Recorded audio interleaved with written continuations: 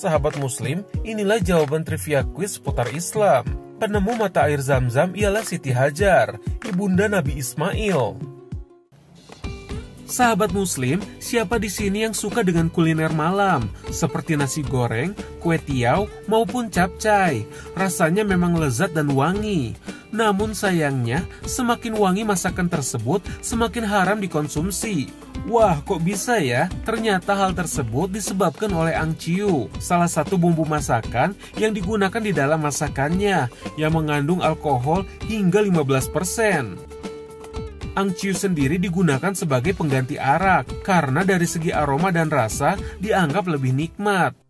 Nama Angciu sendiri berasal dari bahasa Mandarin, yaitu ang yang artinya merah, dan ciu yang artinya arak. Jadi Angciu adalah arak merah. Angciu sendiri dibuat dari hasil fermentasi ketan hitam. Meski dasarnya dari bahan yang halal, yakni ketan hitam, namun para ulama bersepakat angciu tergolong hamar karena memiliki kandungan alkohol dari hasil fermentasinya tersebut yang bila dicampurkan dengan suatu masakan maka akan membuat najis pada masakan tersebut dan bila dikonsumsi maka membuat ibadah kita tidak diterima. Namun tentunya tidak semua pedagang nasi goreng dan kue tiaw menggunakan angciu di dalam masakannya. Anda bisa bertanya kepada pedagangnya bila Anda merasa ragu. Jangan sampai hobi kita menyantap nasi goreng menjadi terhalang karena khawatir mengkonsumsinya. Sahabat muslim, tak hanya nasi goreng, banyak pula makanan lain yang mengandung alkohol dan juga rum, seperti pada cake, kue sus, serta pada makanan Jepang, yakni yang terletak pada kecap asinnya, yang mengandung mirin, yakni sejenis arak manis. Namun kembali lagi pada pernyataan awal, yakni tidak semua jenis makanan tadi mengandung alkohol. Karena semenjak ada fatwa MUI nomor 10 tahun 2018 tentang keharaman makanan yang mengandung alkohol dan etanol, masyarakat semakin sadar dalam membuat masakan yang aman dikonsumsi kaum muslimin. Sahabat muslim, meski kandungan alkohol tidak banyak pada sebuah makanan dan tidak berpotensi memabukkan, namun hal tersebut tetaplah dilarang. Dikutip dari Rumah Fikih Indonesia disebutkan, dari Ibnu Umar radhiyallahu anhu berkata, siapa yang meminum hamar meski tidak sampai mabuk, tidak diterima sholatnya selagi masih ada tersisa di mulutnya atau tenggorokannya. Apabila dia mati, maka dia mati dalam keadaan kafir. Bila sampai mabuk, maka tidak diterima sholatnya 40 malam. Dan bila dia mati, maka matinya kafir.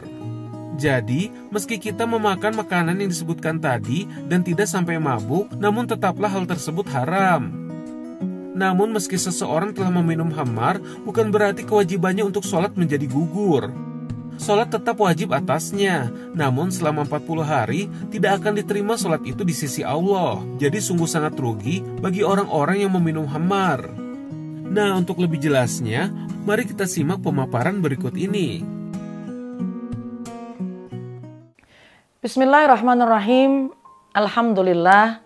Wassalatu wassalamu ala rasulillah. Bagaimana hukum khamar? Bagaimana hukum arak? Bagaimana ketika minumnya sedikit? Apakah itu juga berdosa? Dalam Al-Quran, Allah berfirman, Yas'alunaka anil khamri wal maisir. Kul fihima ithmun kabirun. Ketika bertanya mengenai masalah khamar atau judi, Al-Quran mengatakan bahwasannya di dalam keduanya ismun kabirun. Di keduanya yaitu khomar dan juga perjudian maka ada dosa-dosa yang besar.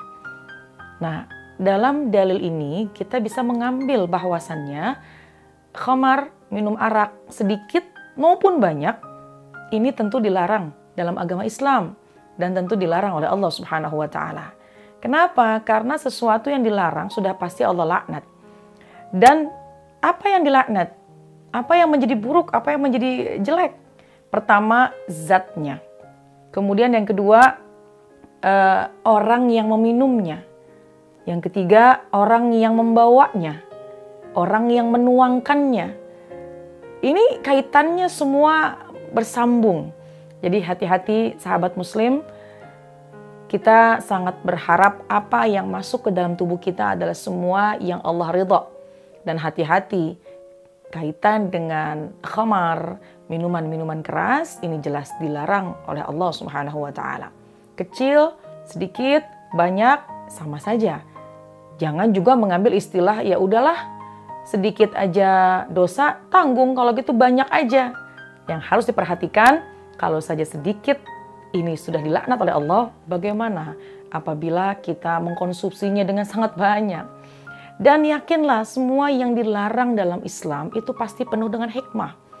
Ketika dirujuk, ketika pernah diteliti bahwasannya orang yang minum minuman keras maka ini akan berpengaruh kepada sel-sel dalam tubuhnya. Di antaranya bisa berpengaruh pada sel dalam otak. Na'udzubillah. Tentunya kita sebagai muslim-muslimah yang sejati, kita ingin menjalankan syariat ini dengan sebaik-baiknya. Jangan abaikan, sekecil apa pun itu, yang insya Allah apabila kita ikuti dengan sebaik-baiknya karena Allah insya Allah Allah akan jaga. Jadi sekali lagi tinggalkanlah khamar, tinggalkanlah minuman-minuman keras eh, dan juga hindari baik bukan hanya yang meminumnya, yang membawanya, yang menuangkannya. Ini semua dilaknat oleh Allah Subhanahu wa taala. Nauzubillah wa iyadzubillah. Wallahu a'lam bishawab. Assalamualaikum warahmatullahi wabarakatuh.